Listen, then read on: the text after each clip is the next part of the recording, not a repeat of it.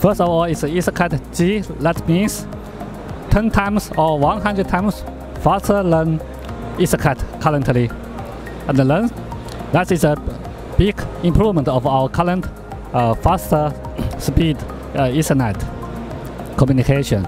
And then we have the second hot topic is TwinCAT Vision that make the machine vision integrate into the uh, automation TwinCAT platform. That's also uh, important, really important innovation of Beckhoff product.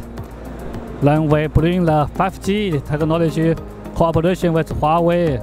Then we like to show to all visitors about the 5G uh, technology in the automation field. And also we bring our XTS and uh, uh, X and as planner system to make our custom production more flexibly.